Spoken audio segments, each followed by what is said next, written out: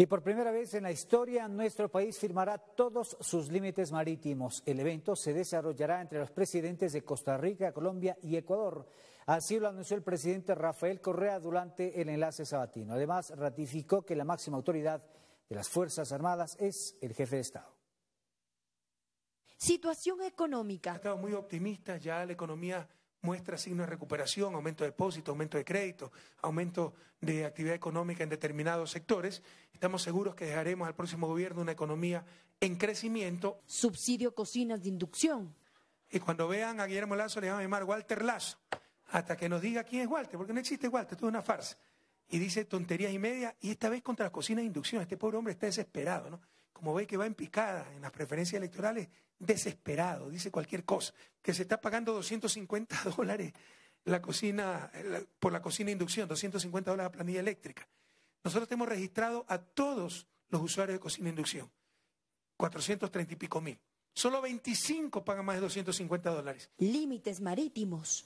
200 años de historia como república, Ecuador tendrá absolutamente cerrados todos sus límites terrestres y marítimos. Y algunos dirán, ¿qué hace Costa Rica ahí? Nosotros, por las Islas Galápagos, tenemos límites marítimos también con Costa Rica. Respuesta del capitán Edwin Ortega. El capitán Ortega, ¿cómo se llama este señor? Edwin, no ha injuriado al presidente. Pero ni siquiera eso es lo que está en discusión. Lo que está en discusión es que para dejarlo en impunidad, sin sanción, se les ocurrió la simpática teoría de que el presidente no es superior. Es superior eh, militar. En consecuencia, se puede insultar al presidente y no pasa nada. Y creyeron que se iban a salir con la suya y se olvidaron que ya tenemos Estado de Derecho. La máxima autoridad de las Fuerzas Armadas, comandante en jefe, como quieran llamarlo, se llama presidente de la República o el jefe de Estado. Seguro Social Militar. Las jubilaciones de nuestros soldados están correctas, 800, 900 dólares.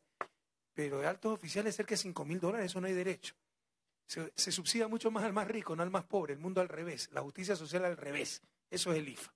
Entonces, por, esas, por esos subsidios a las jubilaciones de los militares en servicio pasivo, el Estado entrega anualmente más de 300 millones de dólares.